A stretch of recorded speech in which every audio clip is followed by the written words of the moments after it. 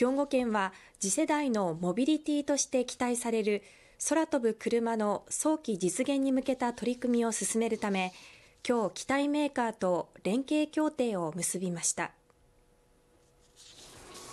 兵庫県と協定を結んだのは愛知県に本社を置く空飛ぶ車の国内メーカースカイドライブで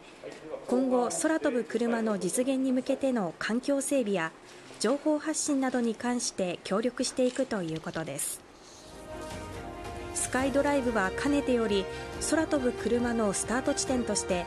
万博を控える関西などを想定していたということで斉藤知事は来年度5000万円の予算を計上し関西万博に向けた段階的な計画を発表。2025年の万博開催時の県内飛行を目標に来年度から検討会議を運営するとしています。